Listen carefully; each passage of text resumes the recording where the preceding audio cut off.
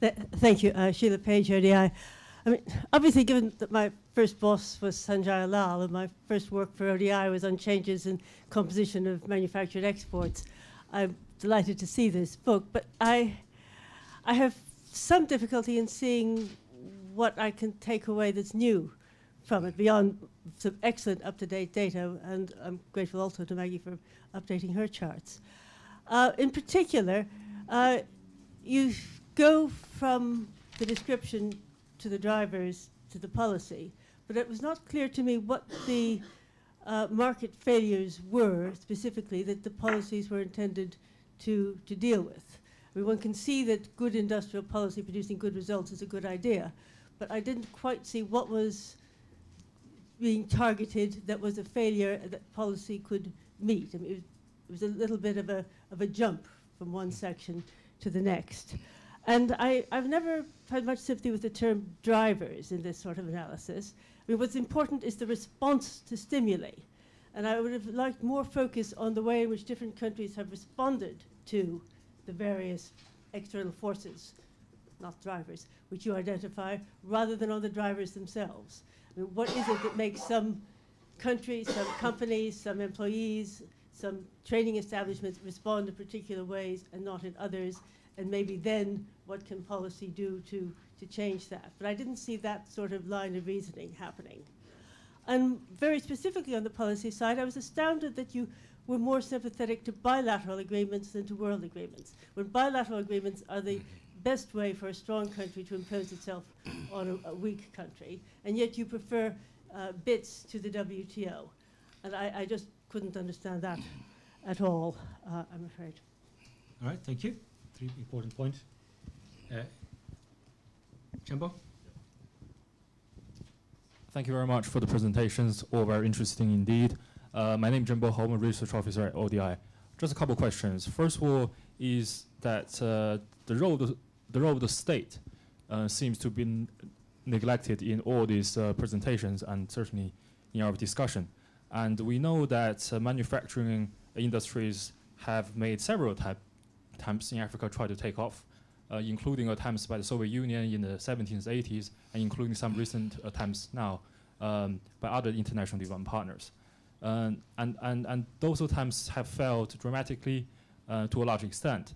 So, and so my question is, what are the conditions for a state to be pro-growth or the pro-industrial policy, knowing that those, uh, those, those, those policies would be conducive for productivity growth in the long run?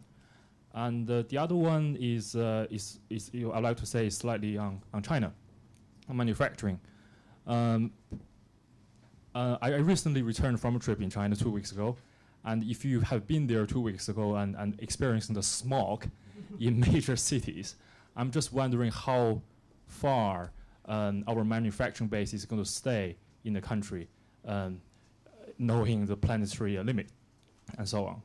And also the other development sort of um, conducive for deindustrialization, possibly in China in the future, is the, is the arrival of cheap energy sources such as shale gas in the United States, which probably would have some onshoring effects uh, for industries in, um, in, in North America. Uh, so those are two points I'd like to make. Thank you. All right, thank you. Gentleman here. Hi, my name is Justin. I'm a PhD candidate and uh, at the University of Cambridge, and I'm working on how sub-Saharan Africa can build up a, a, manufacturing base. So this has been very, very interesting for me. Um, I want to touch upon what kind of industries least developed countries uh, uh, benefit from specializing in. And here, um, especially the type of manufacturing industries that have been mentioned have been agro-processing, uh, beverages, uh, textiles, garments, and so on.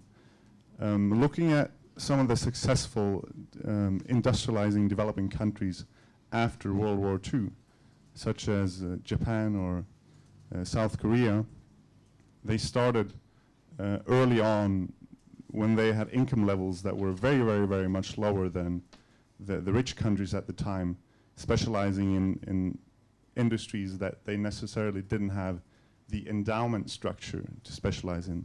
Like, uh, I think Japan started um, looking to its automobile industry in the 1960s and protected it for nearly four decades before it uh, was competitive. And South Korea looked in the 1970s to its uh, steel industry. And these kind of industries were termed uh, by many observers as, as the wrong industries at the time. So would it be possible for the, the least developed countries to pick some type of high-tech industries that haven't been mentioned, sort of emulating to some extent uh, what some of the successful uh, developing countries did uh, in East Asia? Are you working with Ha-Joon? Yes. That's Why did I? okay, um, the, the, the lady over there. Hi, uh, my name is Stefania Benise, and I, want, I was interested in I was interested in the uh, presence of informal manufacturing, and I was I was just wondering whether it was um, whether you had experienced difficulties in sort of measuring uh, the size of the informal of informal manufacturing, and whether and whether it's sort of hard to to keep to keep an eye on its development. That's, that was Mhm. it. All right. Um, so I think we need to go back to uh, to uh, to Luda di- at this stage. There were quite a, a lot of uh, comments that you already had. Um, I suppose in the, the la- latest round of comments, there's something about sort of the role of the state and and uh, in terms of addressing market failures. What is the market failure? Have they changed over time? Um, uh, and uh, sort of thinking through should should, should countries pick the wrong industries, uh, la Ha-Joon Chang, or is it should they pick the the, the, the, the right industries uh, based on comparative advantages, a la Justin Justin Lin? Um, uh, what is your uh, what is your uh, your view on this? And it's it's related to your charts, basically uh, the chart that you showed about the contribution of different manufacturing sectors. Uh, is that inevitable? Is that uh, the way the, the path inevitable, or uh, is poli- does po- do policies and institutions play a role there?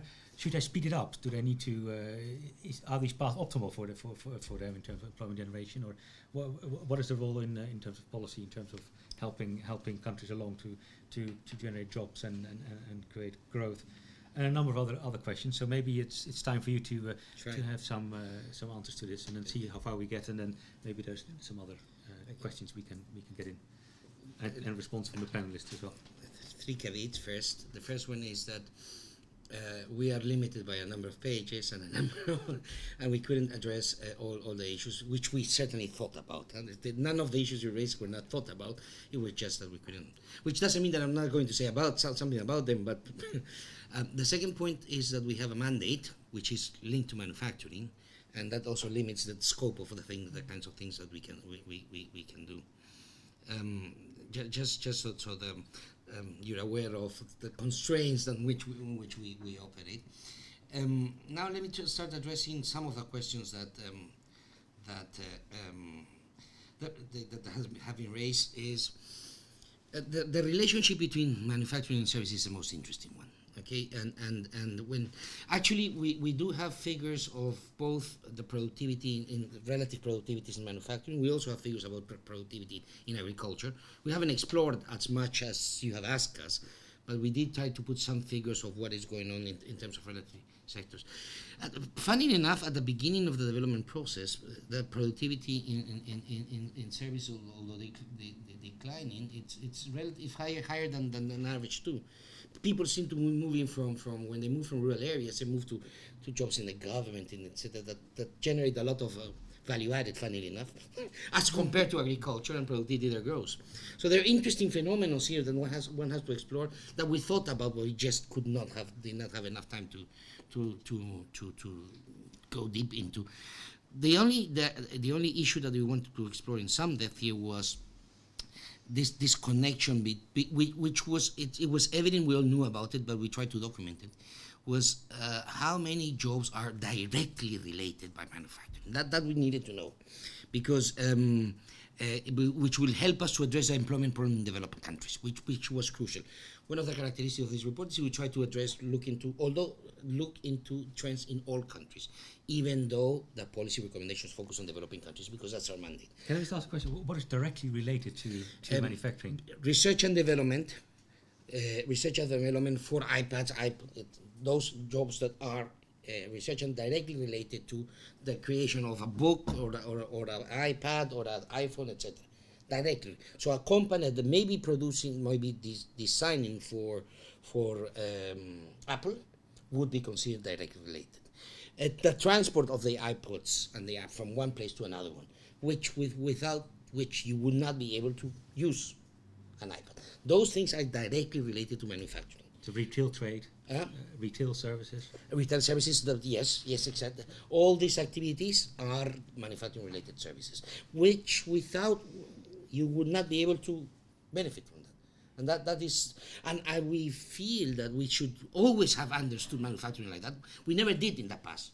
We always understood manufacturing as just making things which was never the case but, uh, but but we always thought of it like that partially because in the past 50 years ago the research and development facilities will probably be in the factory itself and, and, and so we measured it as part of the factory. Nowadays, with the fragmentation of production, you have the research and development facilities moving somewhere else, the marketing moving somewhere else, logistics moving somewhere else, and we have different, different sectors emerging.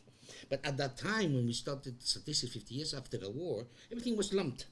So, so we thought of manufacturing as production because that was the biggest chunk of it. The reality was that we also had services then, but we didn't count them. Now we are counting them. And, and, and, and I think we have to first make that point clear. That's one of the novelties, by the way. Making it, it always existed, but um, we make it clear and we try to measure it. I think that is, and let me at this point address the question of the novelty. We were not aiming at not having anything novel here. That was not the point of this report. The point of this was report was to document these kinds of trends. That is a novelty of it, which has not, not been done the way we've, we've done it. Measuring employment the way to be clear about the measuring employment, distinguishing formal from informal, trying to address this issue of manufacturing related services because it's crucial in developed countries. This is the novelty of the report and try to document a bit the, the, the, the better than in the past the figures of structural change and numbers, and ratios, all that, which has not been done. We were not aiming at bringing novel ideas here. We were aiming at documenting what we all know, but we have not shown. That was the purpose of this report. Um, coming back to the uh, to, um, another issue that I wanted to say is again we presented that uh, typology. We presented the average of averages here. Now our analysis goes much deeper. We are we are differentiating. We can do the same analysis differentiated by countries by resource intensity, for example. We can differentiate by population, by population intensity. We have analysis that differentiates all this all these um, characteristics. Um, we also are examining the deviations over the average to see why countries do better than others. We're doing all this. This is all the research we're doing, but of course, I could, we could not. This is a program of the, of the of the branch. We are working. I presented two digits here. We're working at four digits. We are. I presented only output value added. We're including exports and inputs. So the work is much broader but again, not everything fits into 100 pages. So all these, the different types, etc., and all the all, all the richness mm-hmm. is is yet to come. We could not put everything here. Um, well, the work is not totally finished yet, anyway. But that's that's in the direction we're going. So we'll be able to differentiate by types of quantities, etc. All all that is part of the agenda. Okay. Um, how how do uh, how do countries move upwards in the in the in the in the in the, in the value chain, which is a point you raised. Um, first, the first point, Bangladesh is doing very well. We have, as I said, I have some detailed information about Bangladesh, which is doing far better than average in the garments industry. Now, um, now, how do they move up? Of course, it has to do with skills, and, and has it has to do with skills. It has to do with training. It has to do with has to do sometimes with foreign investment. Foreign investment does not play as much role as one thinks it is. I think the Chinese experience, and I, when I was looking at, at, at, at uh, Xiaolan's figures, if, if, if foreign invest, invested enterprises was at the bottom in terms of employment generation. I think those figures are for the economy as a whole, not for manufacturing, but that coincides with something that I've seen in, in, in other figures that the Chinese manufacturing growth has not been explained by, by and large by foreign investment, but by TVEs and by SOEs. They have had a major chunk. So um, investment, I think that the point I want to make here is that investment is a critical dimension of, of manufacturing growth, but we are looking too much into FDI and too little into domestic investment. And we should look into domestic investment too. Um, so is- it, it is a traditional variables. They play different in different countries under different circumstances. And if you want me to go country by country, Bangladesh has.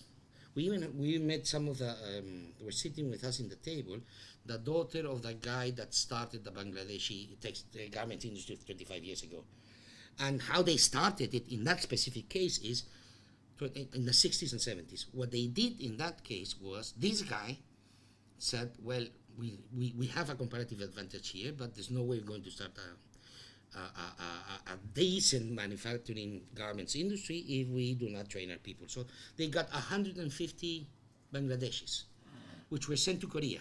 50% men, 50% women, by the way. Were sent to Korea. They were trained in, in, in Daewoo at the time, okay, and then came back and started the first garment factory at the time. So there was there was leadership, there was vision, there was training, there were all these elements there. There was entrepreneurship. There were all these elements in Bangladesh that started the garment industry 40 years ago. Okay, I'm, I'm, I'm, I'm glad that we uh, were there because it was first-hand story that I heard. So if you want me to to answer the how, the only way I can answer the how is case by case.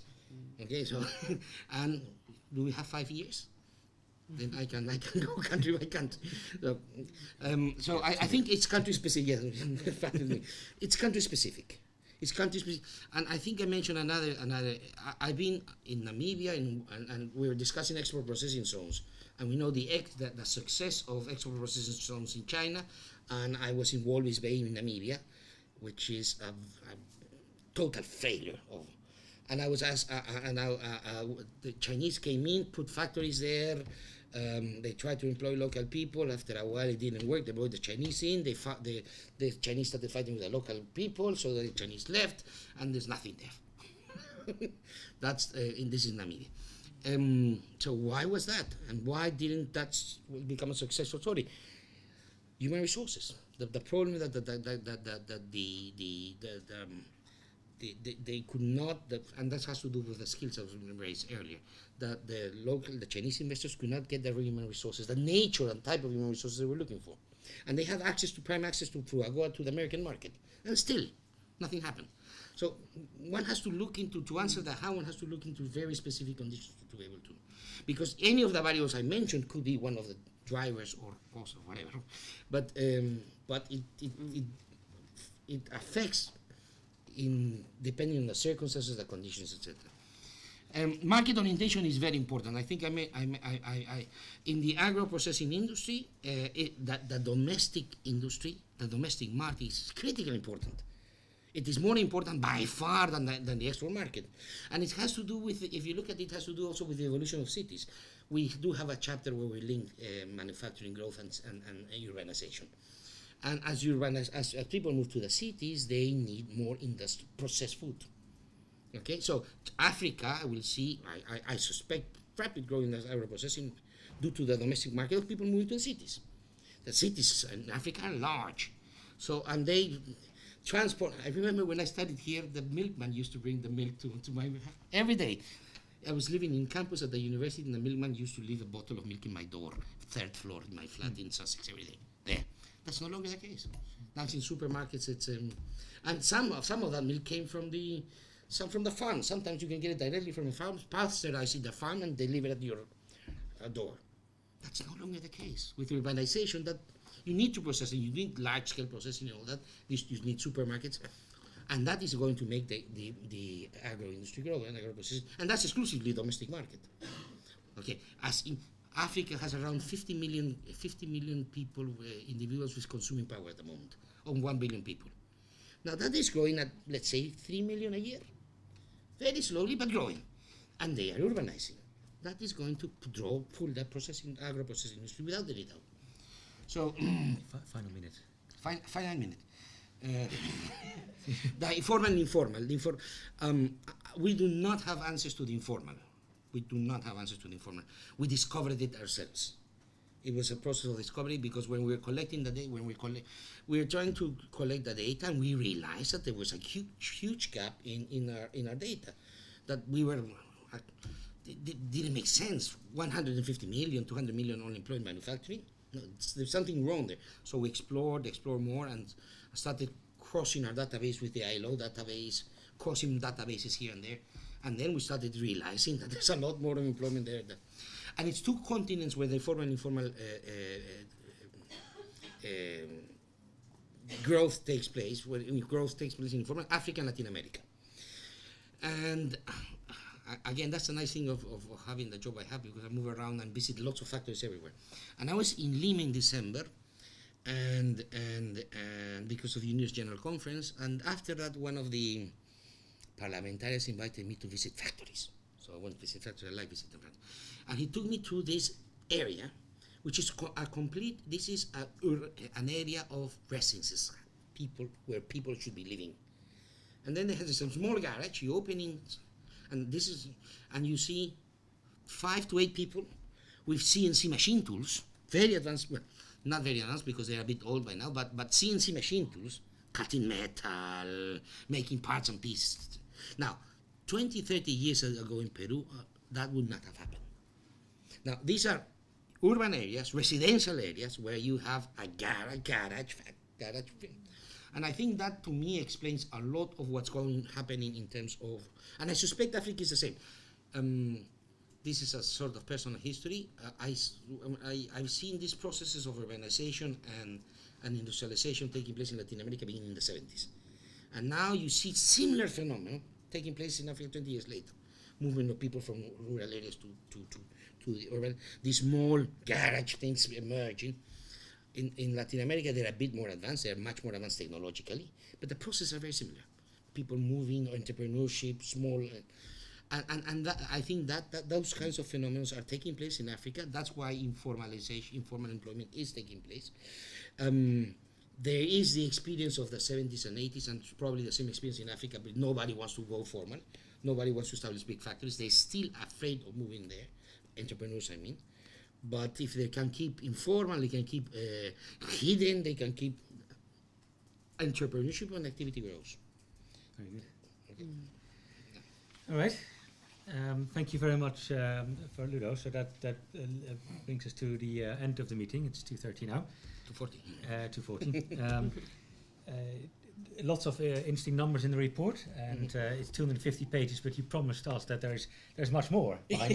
so there must be at least three other volumes. So a thousand pages of uh, of, uh, of important UNIDO information. Uh, uh, I hope we can all access that on the on the website, and it's uh, it's very illuminating.